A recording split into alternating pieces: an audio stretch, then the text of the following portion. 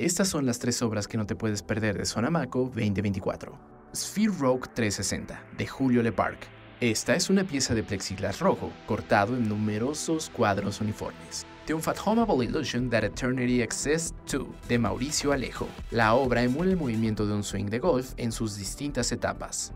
La obra del artista visual Ganesh Prince Gyasi. Sus coloridas y bellas imágenes ofrecen una mirada opuesta a la noción que Occidente tiene de África. Sonamaco cumple 20 años en 2024 y te recordamos que esta exposición se encontrará en el centro City Banamex del 7 al 11 de febrero.